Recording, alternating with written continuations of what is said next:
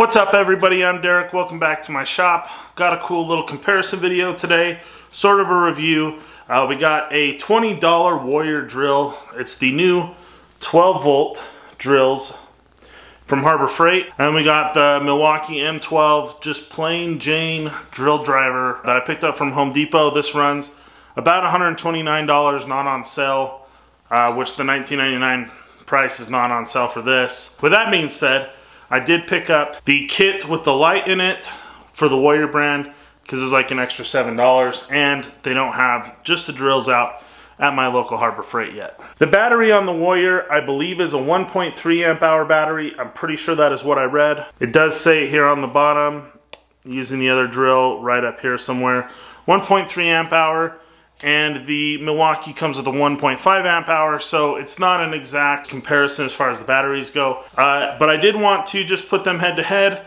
kind of check them out, test them out, talk about some of the features, comparing the features between the two of them, and then seeing how they perform, drilling some holes in some wood. Okay, so just to go over some of the specs real quick, uh, again, both of these drills are 12 volt drills. They both have 3 8 inch chucks. The Milwaukee is claiming 275 inch pounds of torque, and the Warrior is claiming 132 inch pounds of torque, so literally almost half. The Warrior's max speed is 550 RPMs, and the Milwaukee's is 400 or 1500 RPMs. So that's pretty much all the specs that I don't really know just by looking at them.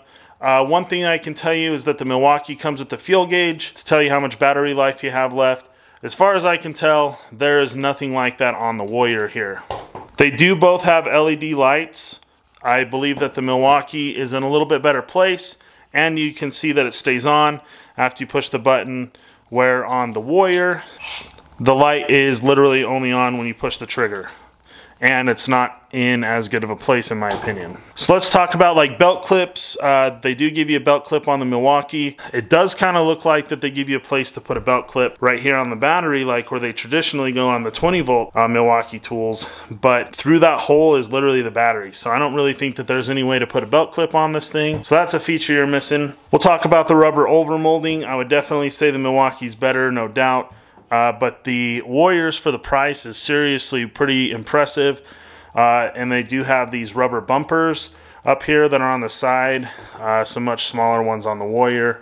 But definitely uh, impressive that they even go as far as to put rubber overmolding on the Warrior. Kind of hard to say with as bright as the lights are, but I'm, I'm pretty confident the Milwaukee's uh, LED light is much better. The Milwaukee's chuck is a metal chuck, where the Warriors is a plastic chuck. Let's talk about speed settings on the Milwaukee. You do have the speed setting of one or two, so really fast and kind of fast. And then here on the Warrior, it actually looks like that they give Harbor Freight the option, the manufacturer of this drill, they give them the option to put in uh, two speeds, but they opted for just one speed, which I think is acceptable, uh, especially given the price of this thing and who it's directed towards. Now, one of the obvious advantages of the Milwaukee is that you have a huge line of uh, other 12 volt tools to go with it, where basically right now, when I make this video, all you have is a light and the drill. I'd really like to see them expand this line.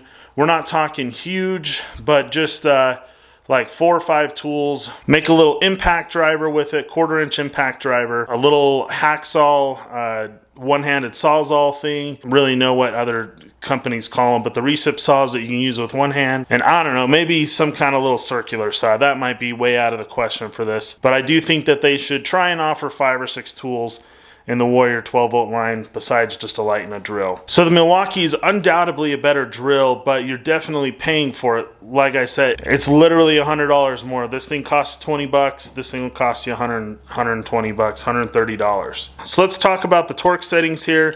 You can go all the way up to uh, 18 plus the drill bit which I guess that's your one. So you got 18 torque settings on this, and I think you only got 12 on the on the uh, the Warrior you got 12 and then your drill bit setting they're definitely made with different clutches they definitely feel different uh, the clutch is significantly nicer on the Milwaukee. This is definitely an apples to oranges comparison. These drills are not even in the same class. You got really the best of the best.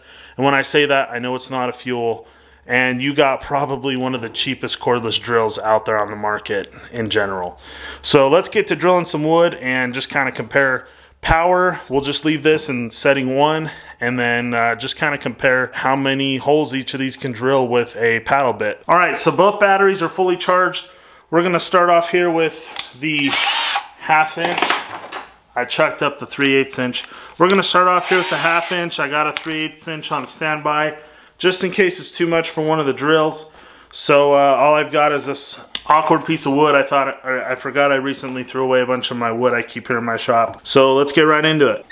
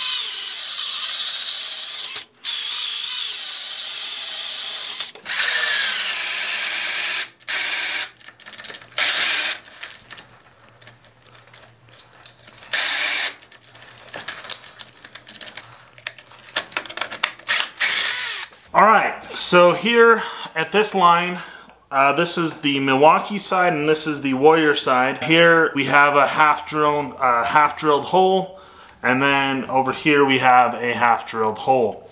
Um, so what we got is 59 and a half holes for Milwaukee. We can just call it 59.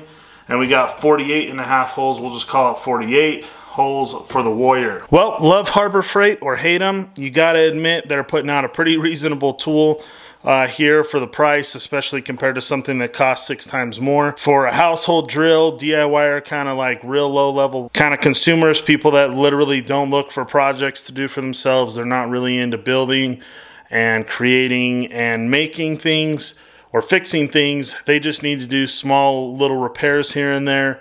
Uh, you seriously can't go wrong with that Warrior. Now, the Milwaukee, everybody knows Milwaukee.